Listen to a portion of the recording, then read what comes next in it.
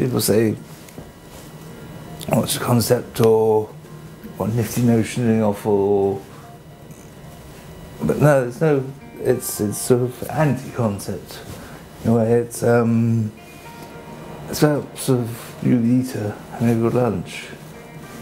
You make noise, talking, chatting, blowing wine.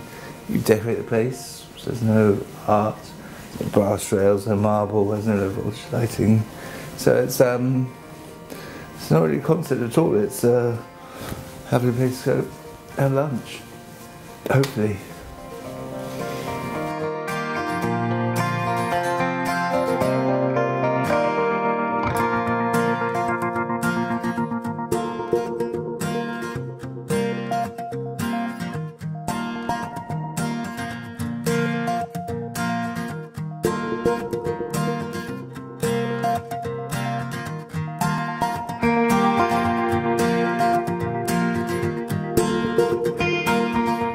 Bakery is vital. It's like knife and fork bread. So we've always our own bread.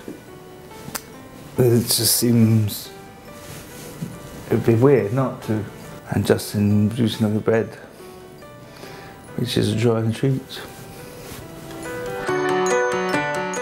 I sort of just fell into it really. I was um, I started as a chef at St John and um, they used to bake the bread there so my days off I used to come in and bake with the bakers and um, Fergus said why don't you just do one shift a week down in the bakery in the pastry section and then that turned into half my week in the pastry and baking and half my week in the kitchen and then eventually Fergus offered me the, the full-time role.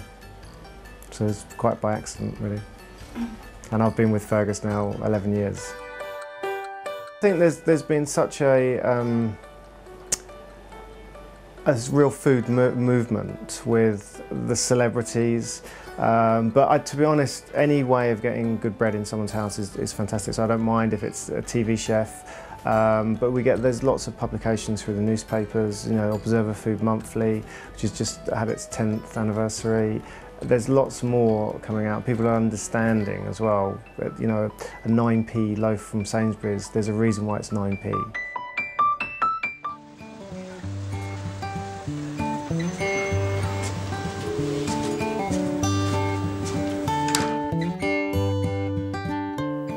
I if we judge from papers, they've stopped saying, oh, you're awful, but we like you, and you're awfully nice, and awfully glad. So the puns have stopped.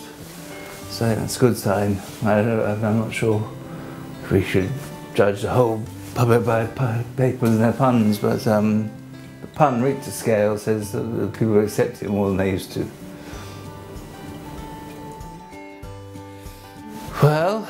Baking on the pig.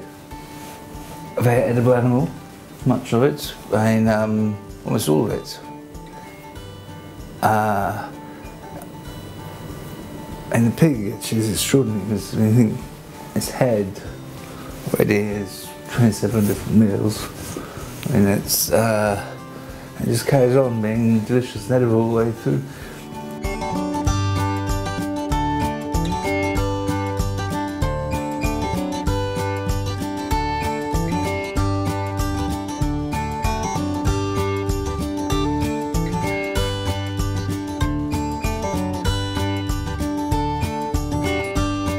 Not prone to being too gloomy though. I'm quite a happy chap.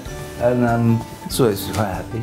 And um, it makes me happy when, like last night it was full, so everyone's, everyone's here and it's, uh, a restaurant, but yeah, it's all, we're in a restaurant, you look out and you're feeding 90 people and they're all looking chirpy. Makes you happy. Good lunch makes you happy. Family makes you happy Fun games, good wine, I don't know, Fernet-Branca. Bossy's very happy.